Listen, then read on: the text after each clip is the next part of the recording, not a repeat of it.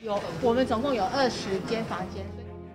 二零二二年十一月二十三号，印尼慈济院企业来台交流，首站台北慈院，期望打造高效能团队，造福当地民众。把慈济新人怎么去发挥，这个就是我们的学习的地方。彼此疼惜，互相看对方的优点，然后再用慈济人文。七十二位来自印尼慈院的医护和志工接连走访花莲慈院。中西医合疗模式为病患除病苦，用贫贱的精神啊来迎接我们啊印尼的慈济家人。Untuk saya paling mengharukan adalah pelayanan dari rumah sakit yang baik sekali kepada kepada pasien。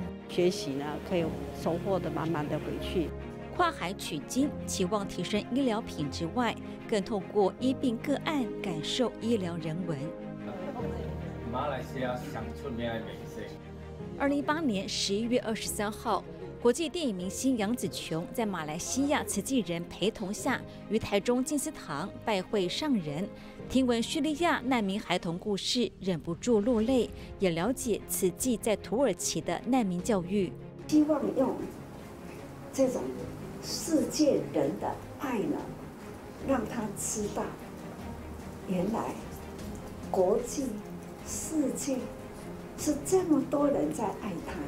这五十多年做的这么多好的事，也 very inspirational。二零二一年大毛水患，杨紫琼不只说，也动手做。Very happy that we're here together with my brothers and sisters from Fiji, Malaysia, to be able to help each other. And so that's what we are doing here, is to show that together. 四年，四年了，四年高高位，高高位。二零二三年获得奥斯卡最佳女主角后，九月在马来西亚实业家陈志远陪同下，首次造访金丝金社。你的表现呐！影响观众是很好的，所以这也是一种的教育。希望下次有多一点时间，可以在在这里待一天。欢迎。花莲之行为身心灵充电，身形典范，发挥世界级影响力。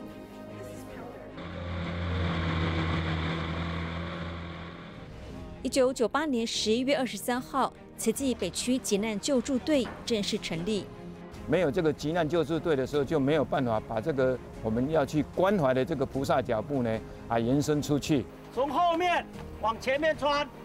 哎，对对。左手不要用力，右手也不要用力，握空拳。